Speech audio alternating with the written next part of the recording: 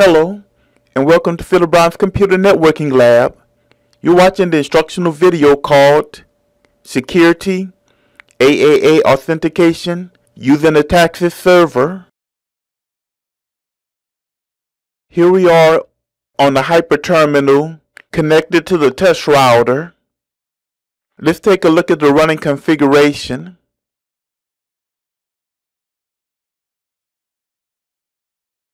We can see that the AAA new model is activated.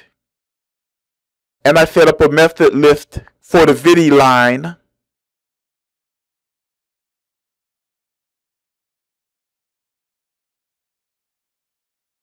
I also set up a line for the username password on the local database.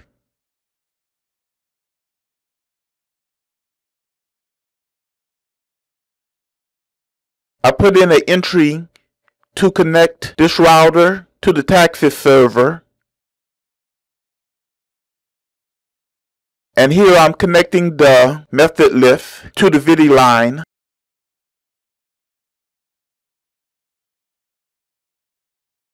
Now we're on the server ACS1.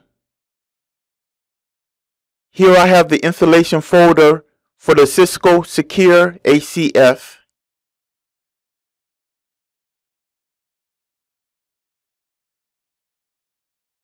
Here's the setup program. I'll double click it.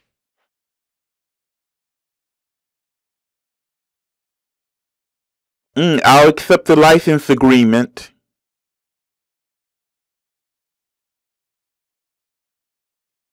Okay, this is a checklist of things that should be already set up on the server before we install this. It's all ready to go. I also want to allow for Windows Active Directory to be used, so I'll make the second choice.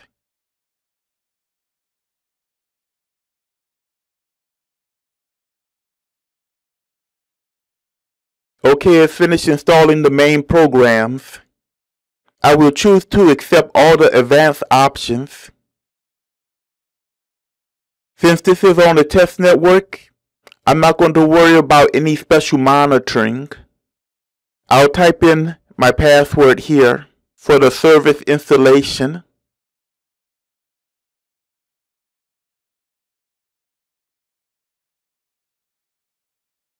Okay, the setup is complete.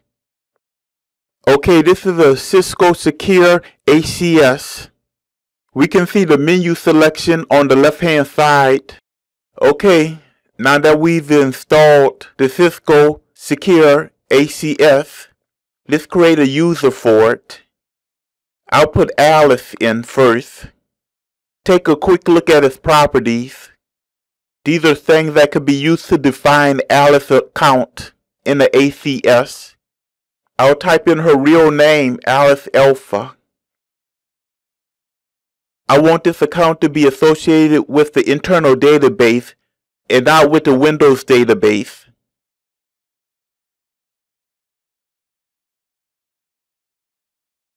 I'll type in Alice password here.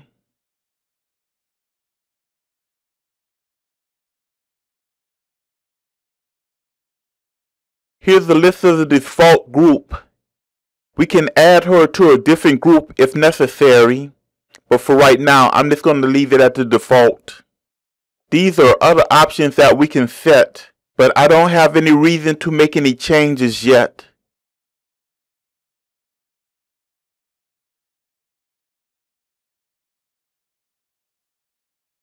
I'll simply click on the submit button to create her account. These are the lists of groups that members can be part of. We're able to rename the groups and make changes in this configuration. Let's take a look at its current properties.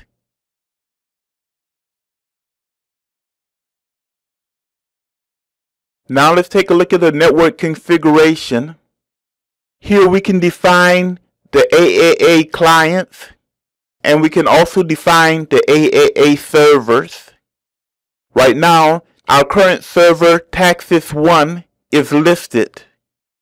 Here are the properties of that account. I can make changes in the server type.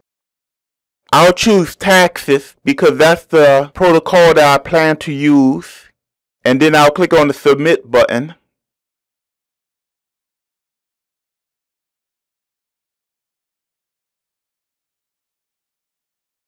Notice that they have some information highlighted in red. And now let me take a look at the AAA client. I'll call the client that I plan to use the test router.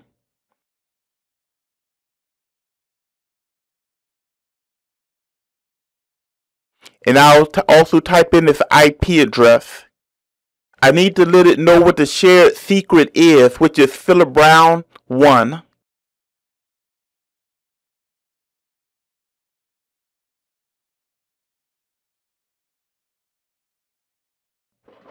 I have a number of other choices, but I think I'll leave it just like it is.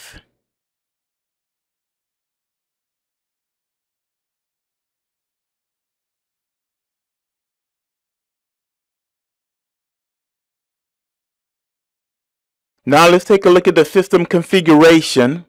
Remember all those red warnings that we saw asking us to restart? Here's where we can restart in order to apply the changes,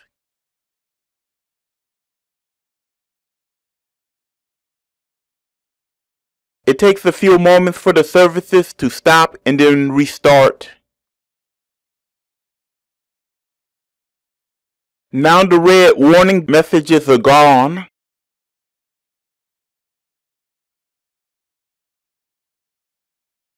Okay, now let's see if we can log in Alice with her username and password.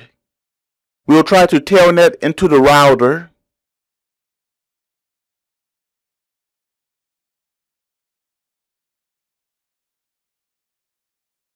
Yes, we can log in with her account.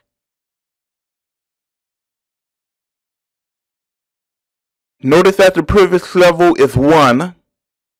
When we take a look at the subject of authorization, we will see how we can control what her privilege level is.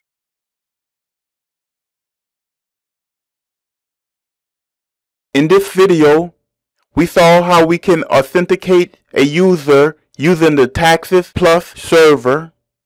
In the next video, we will look at another method of how we can authenticate using the Radius server. I hope this video has been informative and I thank you for viewing.